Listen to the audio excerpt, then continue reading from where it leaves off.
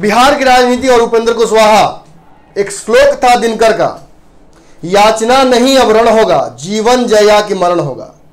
लगता है एनडीए में अब कुशवाहा की जगह नहीं है। कम से कम कुशवाहा ऐसा अब मान के चल रहा है। दिल्ली पहुँचे थे मोदी जी से मिलने के लिए। समय नहीं मिला।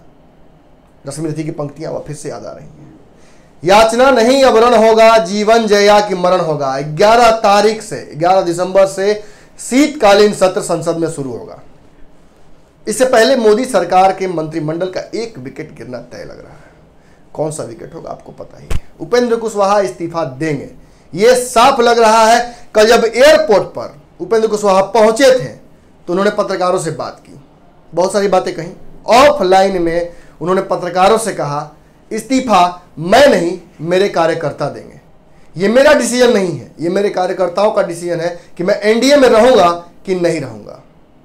6 दिसंबर को 6 दिसंबर को ये आखिरी समय है जिस दिन उपेंद्र कुशवाहा एनडीए से, मंत्रिमंडल से इस्तीफा दे सकते हैं। इस डेट को नोट कर लीजिएगा क्योंकि हम आगे बताएँगे आपको कि ये डेट क्यों ज़रूरी है।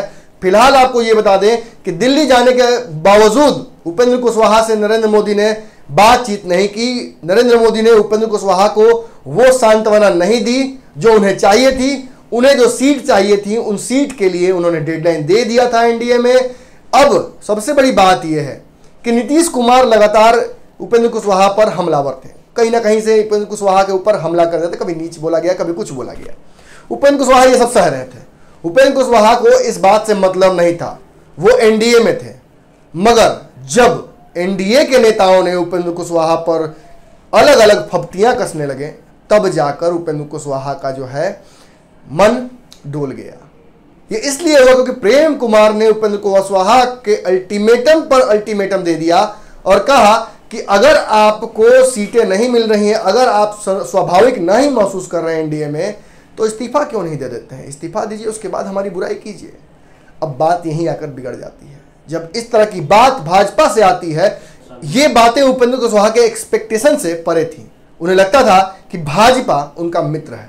मगर जब भाजपा से ऐसे बयान आते हैं तो उपेंद्र कुशवाहा का मन थोड़ा सा और दुखी हो जाता है। छह तारीख बड़ा इंपॉर्टेंट डेट है, याद रखिएगा, छह तारीख को उपेंद्र कुशवाहा मोदी मंत्रिमंडल से इस्तीफा दे सकते हैं। क्यों देंगे, ये भी हम बता दिए आपको।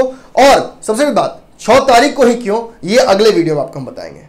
बने रही न्यूज़ बिहार और भारत लाइव के साथ। धन्यवाद।